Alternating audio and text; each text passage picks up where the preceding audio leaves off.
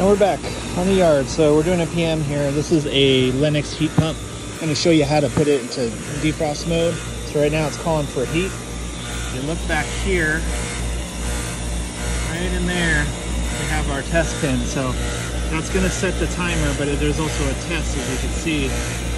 Right there, it says test. So I'm to go ahead and try to not get shocked.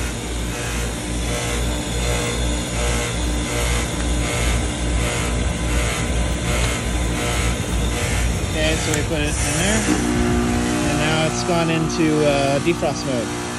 And that's how you test a defrost mode on a Lennox heat pump.